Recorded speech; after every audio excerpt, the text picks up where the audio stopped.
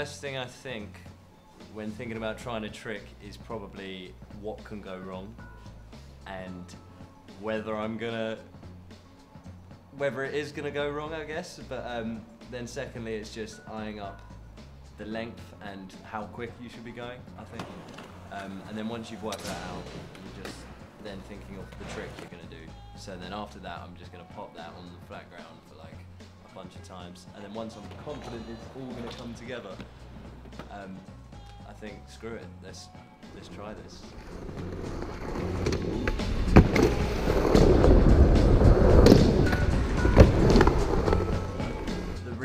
Trying the trick, well, not only the feeling of flying through the air, that is something else, but it's just landing and rolling away, and then once you know that's all come together, it's just the best feeling.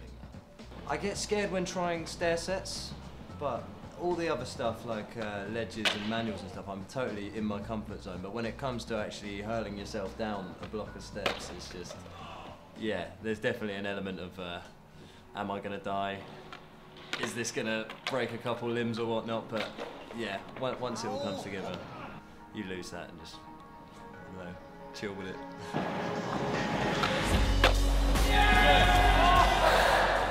The feeling of landing it is the best feeling. That is what why you do it. That is the reward, I guess. Like nothing else matters.